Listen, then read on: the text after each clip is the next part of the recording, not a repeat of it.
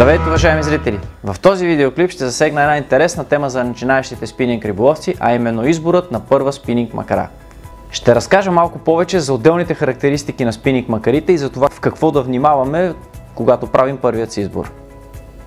Според принципа на действие при отпускане на риболовната линия, макарите се разделят на два основни вида – инерционни и безинерционни.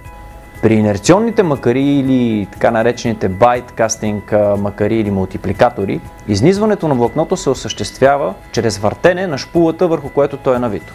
При безинерционните макари, при замятане, влакното се изхлузва от шпулата, като тя остава неподвижна. Към инерционните макари спадат всички обикновени макари, приличащи на ролки, така носещи наименованието катушки, които като цяло са и едни от първите измислени за времето си устройства за навиване на влакното. Тъй като са доста бавни в навиването на влакното и така не може да се постигне с тях голяма дистанция, те бързо отстъпват позиции на по-съвременните мултипликаторни и безинерционни магари. Единственото им приложение в днешни дни остава може би това при риболова на лед, където се използват заради тяхната лекота.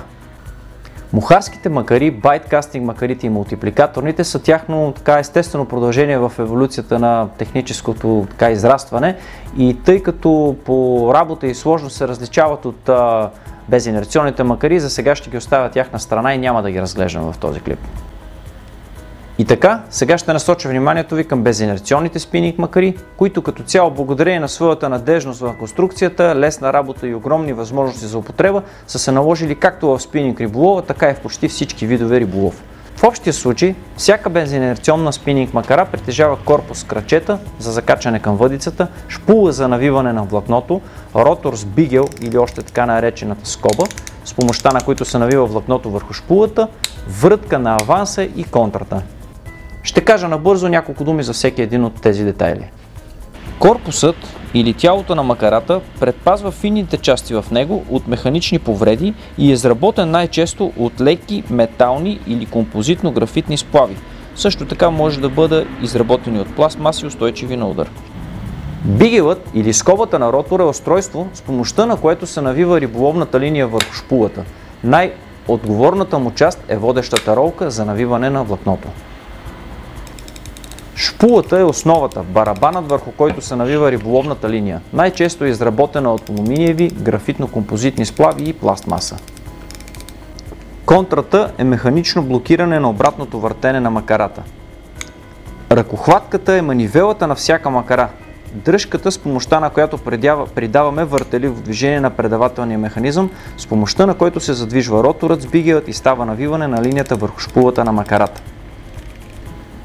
Авансът на всяка макара по същество е регулируем механизъм, съставен от няколко триещи се една в друга шайби и външна ръкохватка, врътка за нагласане.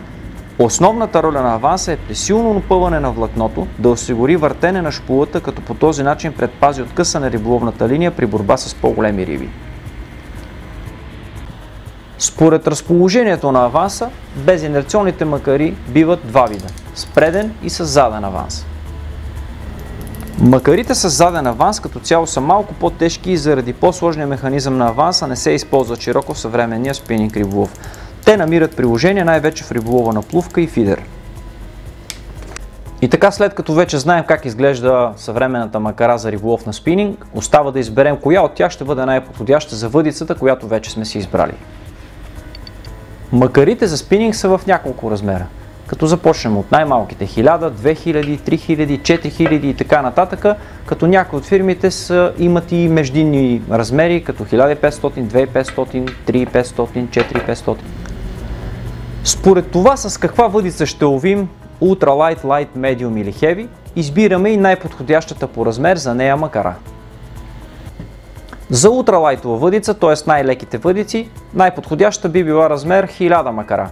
За лайт въдици така ще подхожда размер 2000, за медиум въдици 3000 и за хеви въдици 4000 и нагоре, по-големи размери от нея.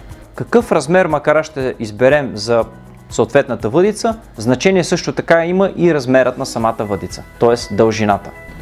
За късите и леки въдици е подходящо да се избере по-малък размер макари, да речем 1,80 до 2, 2,10 дължина на въдицата, може да се спрем на размер 1000, 1500, 2000. А обратно, при размери 2, 2,40, 2,73 метра може да минем към малко по-големите размери макари от порядъка на 2500, 3, 4000, 5000. Ако разгледаме внимателно всяка спининг макара, освен размерът и на нея е записано и предавателното отношение. Какво значи, например, надписа 5 към 1? Това са броят навивки пълни обороти, които ще направи бигела на макарата при един оборот на дръжката. Този параметр ни показва колко бързо или колко бавно навива дадената макара риболовната линия и от него зависи колко бързо се движи примамката. При по-бързо оборотните макари, да речем с предавателно отношение 6,2 към 1, там примамката се движи много бързо и този тип макари са подходящи за употреба в морския риболов, където примерно риби като лефера и дорадото гонят на така, максимална скорост и е хубаво за тях да предвижваме бързо самата примамка. И обратното, при по-бавно оборотните макари е добре да се спрем, да речем, когато искаме да ловим штука, защото тя атакува от засада в стоящо положение и при които се движат много бавно пред нея, тя реагира много по-добре. Тоест за нея би била подходяща по-бавно оборотна макара. В самото начало на риболовния път на всеки начинаем спинингист, опитът е твърде недостатъчен да избере макара по предавателно отношение, затова аз ви съветвам да не го взимате под особено внимание този показател. Други неща, обаче, които са важни в избора на спининг макара, сега ще обясна. Да приемем, че сме се спряли вече на определена големина макара, според въдицата, която вече имаме избрана. Следващото важно нещо, което трябва да гледаме в избор на макарата, това е м- макарата да няма луфтове които се получават най-вече в дръжката, в ротора, да няма биене, чисто и просто да има добро плавно въртене. Като завъртим дръжката и я пуснем, дръжката и ротора трябва да се въртят пред продължително време с лекота, плавно, да няма странични шумове, тракания и така нататък. Важното е също така макарата да има лагери, които да подобряват работата на механизмите в макарата. Хубавите макари като цяло са лагерувани с минимум 4 съчмени плюс един ролков лагер. Това е показател, който обикновено е на корпуса на всяка макара.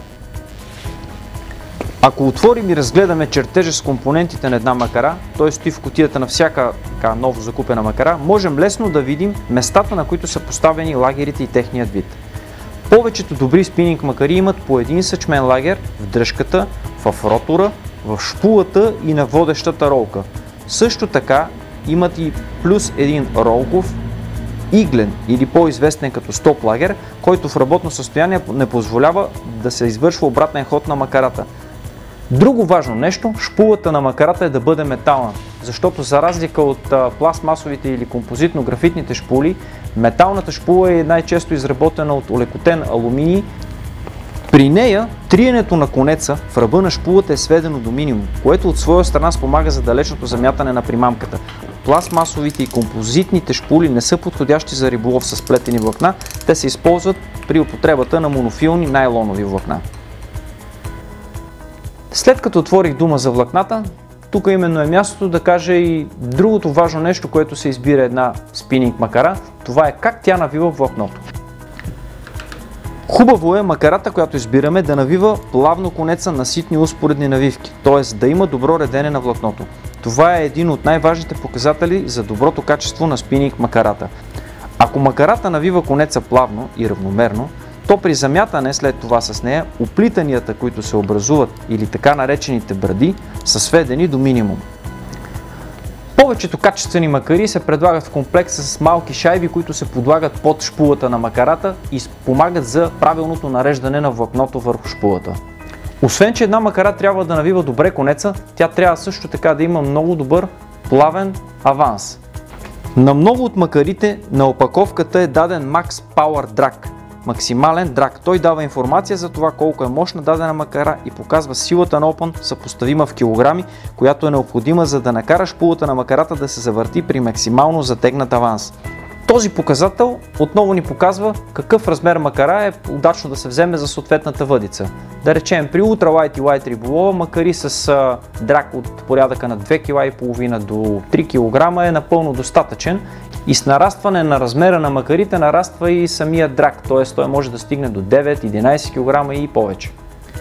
И така, след като вече сме решили каква да бъде нашата първа макара, хубаво е да споменем и някои така особености в нейната експлоатация, почистване и съхранение. Всяка нова макара, след като излезе от завода производител, е готова за работа, т.е. на нея може да се навие влакно, конец или каквото там сметнем за необходимо и да отидем да ловим.